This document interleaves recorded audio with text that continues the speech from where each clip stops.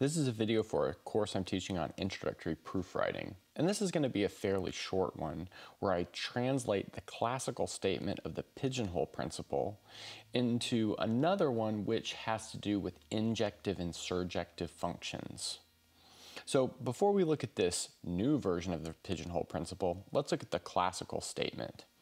So it says, if you try and place m pigeons into n holes where m is bigger than n, then there will be one hole with at least two pigeons. So let's maybe look at an example of that real quick. So let's suppose that we have three pigeons. So there we've got one, two, three pigeons, but we've only got two holes. And we're trying to put those pigeons into the holes. But notice if we try to put these three pigeons into those two holes, then it's pretty clear that there will be at least one of these holes with two pigeons. There's no way around that. In fact, there could be one hole with three pigeons and one that is empty. That's not precluded from this situation. Okay, and then maybe a less common but kind of equally valid way to look at the pigeonhole principle is as follows. If you, play, if you try and place m pigeons into n holes where m is less than n, then there will be one hole which is unfilled. So let's maybe look at an example of that as well. So let's say now we've got two pigeons and we have one, two, three holes and we're trying to put these two pigeons into the three holes, but notice there's no way around it. There will always be one of these holes which is unfilled. Okay, so now that we've got this classical statement of the pigeonhole principle, let's maybe go ahead and look at another equivalent version that has to do with sets and functions. So we want to suppose that A and B are finite sets, and f from A to B is any function. So if the cardinality of A is bigger than the cardinality of B, in other words, the number of elements in A is more than the number of elements in B, then it is impossible for F to be injective. And let's just recall that injective means one to one. And then if the cardinality of A is less than the cardinality of B, in other words, the number of elements in A is less than the number of elements in B, then F is not surjective. And let's recall that by surjective, we mean onto. And in a previous video, we looked at careful definitions of injectivity and surjectivity, so we won't do that here. So now that we've got the set and function version of the pigeonhole principle, I want to look at an example. So this is kind of a classic example.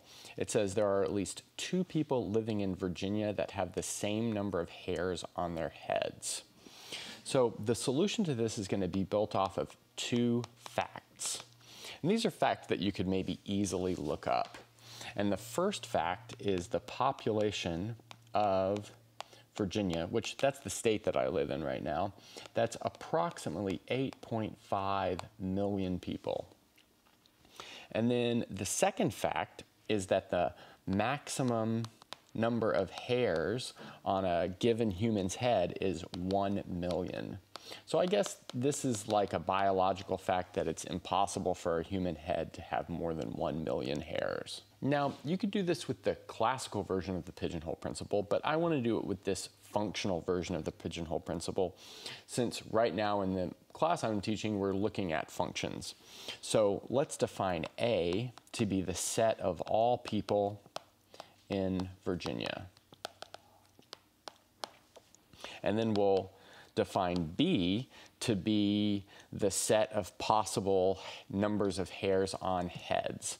So I guess that would be zero if you're completely bald, one, two, three, all the way up to one million.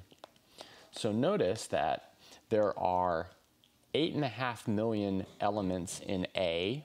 There are 101 million elements in B. So if we can define a function from A to B, we know that it will not be injective. So let's define a function h from A to B, where h of A equals the number of hairs on person A's head. So that's definitely an appropriate way to define a function. But now we know that h is not injective by the previous proposition. But h not being injective means that there exists x and y in A such that h of x equals h of y. So that's essentially the definition of not being injective. But now let's translate that statement about H to a statement about people. And we can do that by saying that X and Y, so person X and person Y, have the same number of hairs which is exactly what we wanted to show.